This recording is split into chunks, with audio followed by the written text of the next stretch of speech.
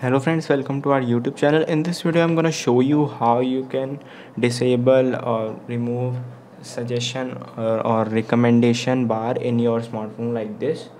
If you just swipe up and you can see there is a all apps icons and there are recommended apps are there.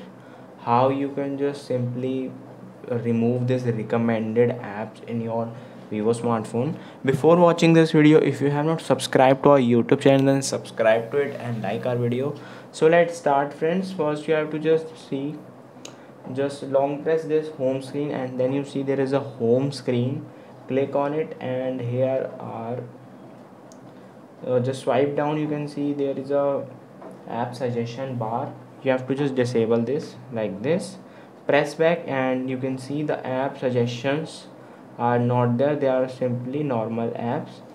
I hope you like this video. If you like this video then subscribe to our youtube channel for more helpful tips and tricks videos. Thanks for watching